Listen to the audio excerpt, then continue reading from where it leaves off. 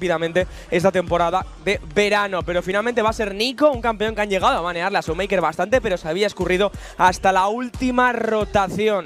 Quería comentar el hecho de que el Rise curiosamente ha aparecido los dos últimos mundiales, Sí. el primer pick en este mundial, pero en ambas ocasiones ha aparecido no como power pick, sino como respuesta a uno de los establecidos en el metajuego. El año pasado fue como una respuesta a Silas, que se le han piqueado bastante. Este año va a ser como una respuesta Sí. a Rumble en el carril superior. Ahora habían aparecido algunos intentos de personajes para responder a Jordel del lanzallamas, entre ellos pues, cosas tan tranquilas como Casadín Top.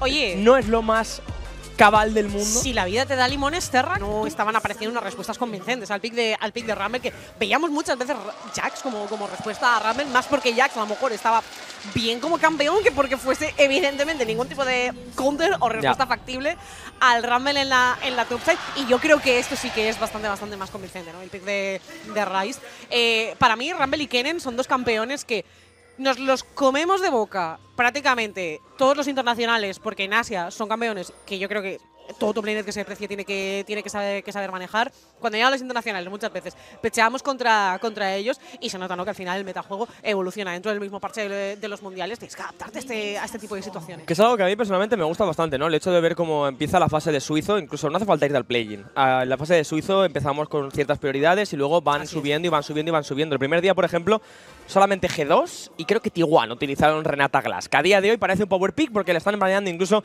desde la primera rotación a algunos de los equipos que están todavía vivos en el torneo. En cuanto a lo que es el nivel 1, no demasiada acción, pero sí guardianes colocados, uno en la top lane para controlar el Rumble y su gestión del calor, pero igual no tenemos tiempo para hablar de eso porque estaban buscando algo, los de Katie Roster, esperando en el arbusto. Van a tener que rentabilizar el hecho de que tienen una dona en el inventario de aiming comparado con la preferencia de Dev. Se me hace difícil que lleguen a matarse en el 2 contra 2 Starter Sí. Gold Lanes porque aunque los supers pueden habilitarte jugadas, los AD Carry realmente no van a brillar a este minuto de la partida. O sea- Entonces la preferencia de Dev es algo que le puede dar mucha ventaja. Es increíble, estoy totalmente de acuerdo contigo, ¿no? Porque el flow a de carry support de las dos. En 2020, 2021, porque por lo que sea tenías mucho tiempo libre. A Gaming, a Gaming, a Gaming, eh, que venía sin respetar la libre de guerra.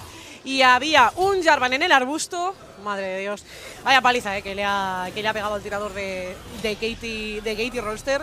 Cañón que iba pegando como el contrato ayer. La cosa está en que tiene la prio, tiene la versión del 2 contra 2 y tiene que marchar en la, la serie para base y esto es posiblemente el primer dragón de la partida para Diplas Kia, salvo que el viejo haga algo medio que no parece el caso porque las fotos espectrales no van a encontrar a la camaleona curiosa que se está dando la vuelta y le ha dado un pequeño tradeo al rey arruinado. Por tanto, no has quemado ningún summoner, No. pero si mandas a Emi para base y esto significa que el primer objetivo para Diplas Kia va a subir al marcador en apenas 6 minutos. Arranque lento, arranque pausado para un momento del día que me apetece más que eh, suene maquinote.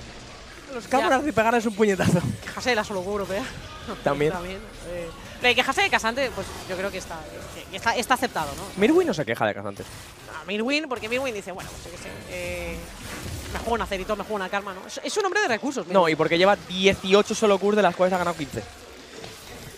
Increíble. Increíble. Bueno, el primer, bueno, segundo objetivo neutral, teniendo en cuenta que el dragón de océano se lo ha hecho eh, di, Diplasquía hace ya bastante rato. Pero el heraldo que lo tiene Canyon en el bolsillo, todavía no tenemos en ese minuto 9. Cuidado, cuidado el arbusto. Sorpresa, sorpresa, sorpresa. Te estaban esperando. Estaba todo Cristo en el arbusto. Kelly que tiene que quemar el destello. No muere de milagro. Tres personas de Katie Roster y no podía acabar con Ren. Sí, es la, es la ansiedad de que todo puede ser un enemigo. De que los elementos no hostiles de Que la del cualquier cosa invocador. puede ser un enemigo es una experiencia normal de una partida de League of Legends. Claro, pero lo que normalmente tú esperabas, que, que no fuese hostil, una plantita, un minion, de repente, ¿qué, qué, qué- qué le impide Uy, potencialmente ser? ¿Qué le impide potencialmente ser una Neko, ese TP a la top lane, eh, que puede ser diferencial para el devenir de este, de este dragón? Katie Roster que no lo va a luchar, viendo que Kini ya había ido hacia, hacia esa zona superior y tienen que responder rápidamente Kana con su propio TP para intentar evitar, perdón, a Showmaker, para intentar evitar que, que caiga la primera placa, pero, pero ha, sido, ha sido inevitable. También tengo que decir que Nico me pone, o sea, a veces veo los iconos en el mapa y digo, allá va, allá va, allá va Kana, no era Kana, tío. No Bueno. puedo más. Pónmelo fácil, tío. eh, Riot Games. Es- No, no, Pónmelo no, fácil. Fácil. entre las últimas robadas de viejo y Nico convertidos en muñecos, yo no puedo más. Bueno, y eso cuando hay cositas que tal como los dragones, que ya sabes que el indicador a veces va un poco de aquella manera, pero me ha sorprendido mucho el hecho de que Kitty Roster se estaba posicionando como para pelear el dragón e Sí. inmediatamente nos han marcado el teleportar a la top diciendo están aquí No pero se tampoco se van a esforzar. Cabezazo del Heraldo y dos placas que se ha quedado en solitario Canyon, de las cuales Dev no ha podido rascar absolutamente nada. 0-0 al minuto 12. Resultado gafas la de los analistas que alaban el juego del LCK porque estamos teniendo una de las partidas más pausadas o más tardías. La primera sangre. Pipillas. Te puedes comprar, eso Teniendo en cuenta cómo están últimamente, seguramente sí. De todas maneras, estamos esperando al segundo heraldo de la grieta, al cual viene el Gens de Boca. Cuidado, cuidado con el face de Comisel Sturi. Entra Real con absolutamente todo minuto. Prácticamente 15 de partida. La primera sangre que se va para la alpaca. Él es el guat, pero no es una cabra, es una alpaca. Ya. Con la primera sangre te puedes comprar muchas cosas, pero acaba de recibir una cantidad de oro de bastante bonita, más por supuesto el segundo heraldo de la grieta cuando veíamos que el primero ha acabado en el carril inferior. No están muy tocadas las primeras torretas del conjunto de Diplasquia, pero la de abajo, los de Katie Roster, minimizando el impacto que va a tener este heraldo y además todo el dinero va al bolsillo de BDD que aguantaba con el cronómetro. No sabemos cómo hemos llegado a esta situación. Tenemos teleportada en la calle central también. El stun que es bastante bueno y del que está stackeando todos los chakrams del universo. Showmaker roba el asesinato, utiliza incluso el destello, se apunta a una kill importante para un Anico que quiere ser impactante en estos primeros minutos eh, de la partida. 2 a 0 de repente, no queríamos acción, pues aquí la tenemos. Sí, todo Diplasky ha metido en el río inferior, con un heraldo todavía esperando a poder ser utilizado. Efectivamente, hay como de bandera, cuidado, cuidado con Canyon, ese es el Canyon de verdad, el falso. Está en la retaguardia convertida en eco, ¿no? En ese, en ese Jarvan, pero a la chita cayendo estamos ya por el tercer dragón para Diplaskia. Sería a punto de alma y Katie Roster que no se puede permitir seguir perdiendo objetivos neutrales. Hay teleporte incluso. Gana que está controlando la zona, todavía hay equilibrador por parte del top laner de Diplaskia para marcar la diferencia en esta zona del río y cubrirla de Napalm. Cuidado, cuidado, cuidado. La dragona Hex se el objetivo por parte de los dos equipos. Se va a resetear exactamente. Legends con el anclazo que sí que conecta. Combo de bandera por parte del caño que se queda roteado con esa prisión rúnica. Libertad sorpresa, es una maravilla por parte de Showmaker y con el cinto misil acaba con la vida de Kuz. Kellin se ha llevado a Legends de momento. Dos asesinatos que se apunta el conjunto de los de Showmaker y parece que el neutral, la dragona Hextech, debería ser para ellos, a no ser que Aiming y BDD tengan algo que decir. Tiene todavía la definitiva BDD, Amy lo mismo, nivel 10, pero Showmaker está buscando el flanqueo, podría encontrar la espalda, tiene todavía disponible muy poquito, pero la E y la Q podría ser suficiente como para intentar llevarse alguna kill. Respeta a Kitty Roster, se marchan y finalmente Diplas Kia se va a llevar el tercero de los dragones de manera consecutiva. La dragona Hextech va para los del lado rojo zona del terreno y vamos al directo donde va a caer otra torreta. Kitty Roster no ha matado a nadie, pero Torretas ha tirado dos en lo que va de partida para mantenerse, curiosamente, por delante en el marcador de oro. De ninguna forma, con lo cual el control del mapa cada vez va a ser más de, de.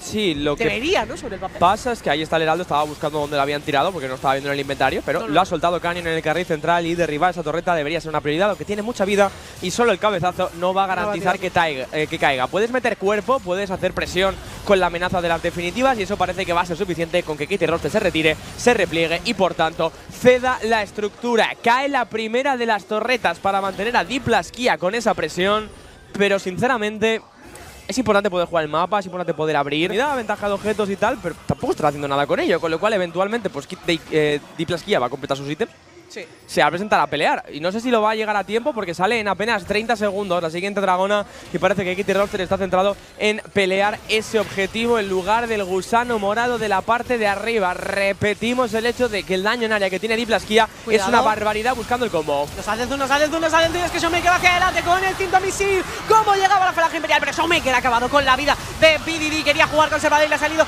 terrible. Canyon saltaba gritando de magia en la cabeza del pitufo morado que también muerde el polvo. Y que tenía incluso los, hechizos de invocador, pero la cadena de CC que ha sido suficiente. Con las bajas de los sonolíneas de Katie Roster, parece Terra que la dragona Hextech y el alma, por ende, debería ser fácil de reclamar para Diplas. Y un poquito más incluso me atrevería a decir, está por la zona Q, tiene la piña explosiva, también tiene el rompecorazones, tiene que ser el héroe del conjunto de Katie Roster para robar este objetivo neutral. La paciencia. Está por la zona, está tanteando, Diplasquia tiene prácticamente todo disponible para evitar que entre y lo están buscando. Asegura el objetivo Canyon, 4 a 0 en neutrales para el conjunto de Diplasquia en cuanto a dragones se refiere. Y se ha encontrado una jugada en medio, el conjunto que es el cuarto seeding del LCK, que ha sido una locura, porque Showmaker ha pillado a BDD con todo disponible. Pero Katie Rolster sabe que no ha pasado por base Diplasquía, todo el mundo menos Showmaker tiene el dinero de la pelea en el inventario, por lo cual la diferencia que hay en el marcador de oro, que es inexistente, realmente es una ventaja de unos 1000-2000 a favor de Katie Rolster en cuanto a lo que viene a ser la compra que has hecho ¿Cómo? y van a flipear la partida en el Nashor. ¿Cómo lo están haciendo? Apadrinado un fan de Katie Rolster porque pueden ponerse muy tristes Se después de esta, de esta serie. Cruz estaba a punto de morirse, efectivamente. Ha tenido, evidentemente, que abandonar el Nashor. Katie Rolster. O sea, no, no, no había negocio posible para el equipo en esa, en esa zona. Hay Alma Hextech para, para Deep Plaskia. Los carries están absolutamente on point. Las definitivas de Showmaker están siendo absolutamente claves. El brote sorpresa ha sido una maravilla, tanto en la calle central como luego en esa, en esa pelea. Y Def sigue ¿no? escalando la cima del Everest. Lento, táctico, alrededor de objetivos, de rebote de oleadas, hasta que alguien diga basta. Y ese alguien ha sido Legends, al parecer, que entraba con el destello y con el ancla y le ha salido el tiro por la culata. Eh, algo ha visto Legends que nosotros no hemos visto, pero, pero lo ha visto mal. Sí, Lo ha visto, lo ha visto borroso. yo, Como yo cuando me quito las gafas. yo respeto a Legends. Yo también. tiene moral, lo ha visto claro y lo ha intentado. ¿Ha salido bien? No, pero hay que intentarlo porque esta partida pinta complicada por cada vez más en cuanto pasan los minutos. Cuidado porque la presión rúbrica que es bastante buena. Aguanta Showmaker en el cronómetro también. Salta de Magia y Kana que acaba de caer. Pidi, que pelea una verdadera locura. Puede llevar la Tife también. Def que tiene todos los chakras estaqueados. Def que escala solo contra el mundo. Y Katie Roster que puede dar la vuelta a la situación. Hay definitiva por parte de Rise el Shutdown que va a ser para el top de Katie Roster. Gritan los fans. Legends había visto algo. Terra que había visto el futuro. Y la versión de ese futuro que había visto y a la que se aferraba era esta. La kill sobre Legends. Que evidentemente da coraje a Deep Laskia para una pelea y al Hextech. Vale. Pero ¿cuánto ha remontado Katie en esta fight? Míralo, míralo, míralo. ¿Cuánto ha pasado remontado, Katie? 700 de cincu- 750 de oro de ventaja para Diplasquia a 4500 de ventaja para Katie Rolster. Saturn incluido, por cierto, sobre Def. Y es un poco injusto que el pobre Legends, ¿Sí? después de ser el director de orquesta ahora mismo en la lista del eh, invocador, va cosas, 0-3-0 el juego. No le reconoce la mayor asistencia que podía haber hecho a su equipo, que es control mental y baitear al equipo rival para que piense que está sinteando y se metan ellos al Nasor. A absoluto director de orquesta, insisto, el super coreano, ex jugador de Genji durante el año pasado. Pero todavía tenemos que dar por finiquitado este primer mapa. Katie Roster está ilusionando. Katie Roster podría estar emocionando a ¿Qué más de sabe? uno mientras se lleva la torreta de tiertos del carril inferior. ¿Qué sabe Legends? ¿Qué sabe? ¿Qué ha Es un visto? pavo que juega Single Support, no preguntes lo que sabe. ¿eh? Hombre, yo siempre le recordaré por su Elise. También, bueno. Siempre le recordaré por su. Que creo que lo que jugó Se tomó Pero muy- yo, pero yo le recordaré por la Se Elise. tomó muy a pecho lo de si estunea su portea. ¿eh? Sí, yo creo que es un mantra. Lo que pasa que, claro, quería. Quería se lo pasó un poco por el forro. Dijo: ¿Estás seguro de que necesitas tunear? Bueno, quería Para decir- que sea support. Si mato es un que stun no, muy largo, o sea que vamos O para sea, yo creo que yo creo que no. La muerte es el CC más largo del juego. Desde luego. En la vida real no vuelves de él. No, no, no, efectivamente, ¿no? Y que y quería dijo, nah, en verdad, puedes jugar cualquier cosa de support. La partida acaba de dar un giro de Es que- 180 grados, o sea, esto es tal cual. Parecía una victoria más cara para, para los de Diplas. Es ventaja de economía ahora mismo para Katie Roster de 5.000 de oro, ventaja de control del terreno, has puseado la torreta de tier 2 y la has derribado en el carril inferior, puedes pusear medio y plantar el disco solar y hacer muy incómoda a Diplasquía el acceso al dragón, porque va a salir el dragón anciano y fíjate que tienen que venir todos juntitos de la mano y ni siquiera están tan seguros, dropeando oleadas abajo y en medio. Si Katie Rolster vuelve a hacer el milagro, esto se acaba y no por el dragón, sino porque como están las oleadas, ¿Lo la notas? base se cae inmediatamente. Escuchas, ese es el sonido de la moneda dando vueltas lentamente en el aire, en el dragón anciano.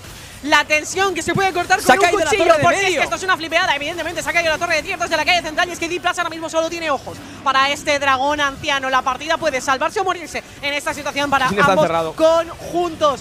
Que prácticamente. ¿Quién está se encerrado? ¿Quién quién está encerrado? Tiene que salir con la ulti del Fonso. O sea, ¿pero qué está sucediendo, King? ¿Cómo te has metido ahí? Ha perdido mitad- la mitad de la vida el top de Katie Roster. Cuidado con esto, equilibrador por parte de Rumble. Totalmente zoneado. ¡Se lo lleva Kuz! El dragón anciano que es para Katie. Cuidado con esto. Cara que está sacando llamas. Kelly que tiene que escapar. Pero la fight que debería ser para el equipo de Katie. Lo logran. La Katieada. Monumental. El Team Rocket despega de nuevo. Katie Rolster que de alguna forma después de ese inicio de partida lo logra. Death que pega también lo suyo. Se están reseteando los chicos de Katie. Legends con el ancla. Pero el ancla que está totalmente envenenada. No tiene Diplas, el, el dragón anciano, pero se la pela, se la pela, van hacia adelante. Kut tiene apenas 200 de vida. King que está buscando, King que viene, King que salta y BDD. Que bueno, tiene otros planes. Llámale cobarde, llámale lo que quieras de Hate, pero míralo, está saliendo su plan. Death que está al otro lado del muro, tiene Ángel de la Guarda, salta Kellen buscando el daño. Dos. Están debilitados, están todos totalmente muertos. Le van a petar el Ángel de la Guarda, pero da igual. Vendido entre tres enemigos con el bufo del dragón anciano. No me lo puedo creer, Katie Rolster lo está. Sí, efectivamente, Katie Roster puede haber ganado la partida porque en esta ocasión con un robo del dragón anciano y distrayendo a Death no terminamos la partida, pero sí han derribado una de las torretas del nexo del conjunto de Diplas Kia que se encuentra 10.000 de oro por debajo en un batacazo antológico en el Nashor. Se acaba de dar en menos de 10 minutos la vuelta por completo al encuentro. Equilibrador de Rumble para intentar demorar lo inevitable y es que esta torreta está derribada y el segundo de los inhibidores también va a ser destruido. Los de Katie Rolster que todavía no van a cerrar con la primera victoria en esta serie porque se marchan con los túneles de la Dragona Hextech a hacerse la jungla y hacer otra compra, pero el trabajo está prácticamente hecho. 11.000 de oro por delante. Tirador de Corea que esta serie sí que pega y aunque Def y Kana son top daño de esta partida, no está valiendo para absolutamente nada y Katie Roster va de objetivo en objetivo y tiro porque me toca los primeros cuatro dragones para Diplas Kia, pero Nah, van de tío. Nashor a Dragón Anciano y ahora Tranashor. Y con este bufo, mucho la tienes que liar para no acabar ganando. Tío, Katie ha dicho los bufos de los los bufos de tío, yo no los quiero. Dragones, los pequeños. Yo esto no lo quiero. El, el, el Nashor pequeño. Yo, ¿para qué me iba a hacer esto? Katie se ha hecho el dragón anciano y dos Nashors, tío. Y estos son los objetivos neutrales que necesitaba para ganar la partida. No necesitaba nada más. Eso y kills, Sí. básicamente. Pero de verdad que la partida ha sido un verdadero escándalo y espero que todos aquí sepamos quién es el verdadero MVP de este mapa. Pero tiene un nombre Legends. Concreto. Sí, Legends, por la- el control mental de medio. Legendario. Pero hay que decir que Katie Roster lleva 10 kills y son de dos peleas que han Sí, sí. acabado en un ace. Ta- Tal, cual, o sea, 10 kills, 5 y 5 en bloques. No, no han necesitado más.